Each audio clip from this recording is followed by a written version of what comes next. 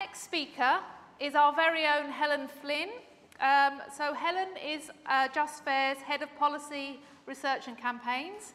Uh, she's got over 10 years experience researching and campaigning on behalf of civil society, community groups, grassroots organisations, uh, towards the better realisation of human rights. Helen's got a particular interest in the domestic implementation of international human rights standards and works it to find ways to better facilitate access to United Nations monitoring mechanisms, which we definitely benefit from at Just Fair, I must say. Uh, she holds uh, LLM in Human Rights and Criminal Justice from Queen's University, Belfast. Over to you, Helen. Thank you so much. So, in January 2023, Just Fair submitted an independent parallel report to the United Nations Committee on Economic, Social and Cultural Rights on behalf of civil society in England and Wales. They are the yellow covered documents that were all at the door as you came in. The report was evidence led, and by that we mean we received over 70 submissions, both written and oral. So, what did it show? It showed that five years on from Philip Alston's visit, people in England and Wales enjoy vastly different levels of realisation of their rights. It showed that the cost of living crisis is a catastrophe for many and poses a real threat to people's lives, but also that the current crisis has not happened in a vacuum. As with COVID 19 and the decade of austerity that was thrust upon people of the UK, these crises are disproportionately impacting specific groups of people and it's often the same groups of people each time.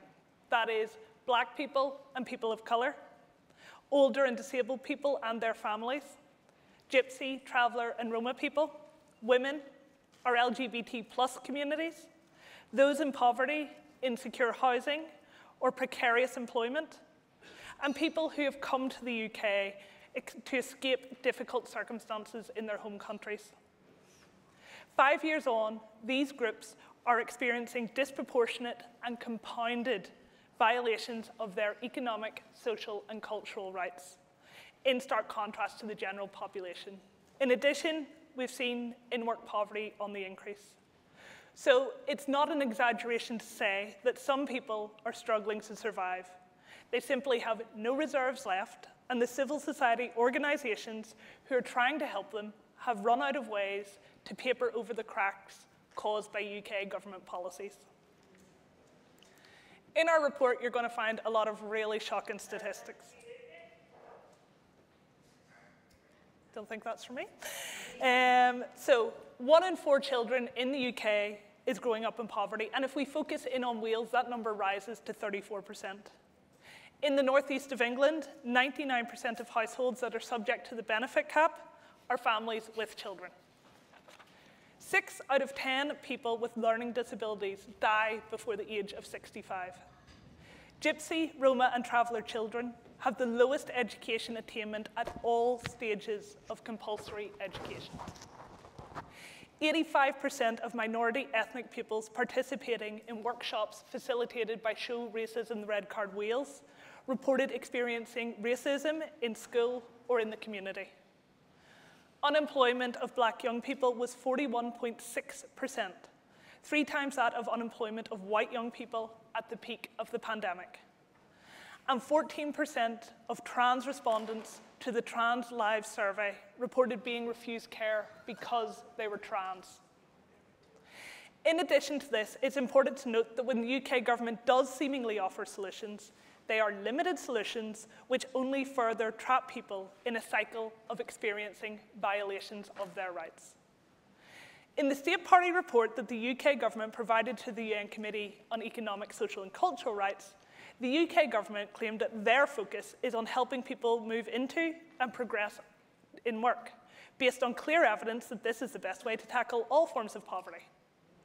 However, our report evidenced that in-work poverty is on the increase rising from 13% of in-work households being in poverty in 1996 to 7 to 17% in 2019 to 20.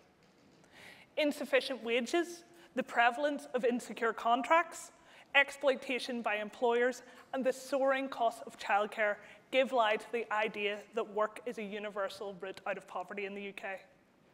Furthermore, this focus on individual responsibility and an attempt to deflect state responsibility is deeply insidious and creates a culture where people blame themselves for the violations of their rights which they experience, rather than placing responsibility on duty bearers to uphold the standards which they voluntarily agreed to be bound by in ratifying the Covenant on Economic, Social and Cultural Rights. But I always like to find a positive note. And to be honest, in this case, it wasn't very difficult. Without preempting the next panel too much, there is hope that things can be different and that things can be better. I'd urge you all to check out a recent report by Alma Economics. Their research using independent HM Treasury guidelines showed that incorporating the right to adequate housing in Wales would save money for current and future generations. 11.5 billion of benefits would be realised across the public purse and society against estimated costs of 5 billion over a 30-year period. The report evidences that public money could be saved by NHS Wales, that homelessness could be ended, and that our communities could be made safer by reduced crime. In addition, recent polling carried out by Opinium and kindly financed by Amnesty International and Liberty shows that the general public is way ahead of our politicians at Westminster when it comes to protecting economic, social, and cultural rights. The polling found that economic, social, and cultural rights are overwhelmingly popular with the public in the UK. And when we break down different elements of the rights contained within the, economic, uh, sorry, the Covenant on Economic, Social, and Cultural Rights, there is very little opposition. We're pushing at an open door with the UK public. So when Opinium asked 2,005 people across the UK, do you think people in the UK should have the right to the following? This is what they told us. To be able to choose their job or move to a new job, 92% said yes. To be and feel safe at work, 95% said yes. To be paid a fair wage at work, 95% said yes. To be treated equally to others at work, 93% said yes. To be able to have rest days and holidays from work, 92% said yes. To be able to join a trade union, 86% said yes. To be able to strike to fight for fair pay and working conditions, 77% said yes.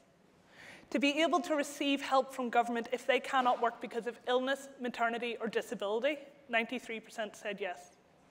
To have financial protection through a social security system, 83% said yes.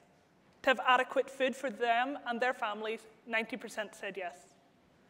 To have a comfortable and secure home, 88% said yes. To have adequate clothing for them and their families, 88% said yes. To have access to good quality physical and mental health services and treatment when needed, 92% said yes. To be protected from preventable disease and ill health, 91% said yes to have support for the family when needed, for example, social care. 89% said yes. To quality education for themselves and their children, 92% said yes. So my message today is that there is nothing to fear for decision makers in calling loudly and working effectively towards the effective incorporation of economic, social, and cultural rights in the UK. They are not only the legally and morally right choice, the economically prudent choice, but they are also the popular choice. Thank you.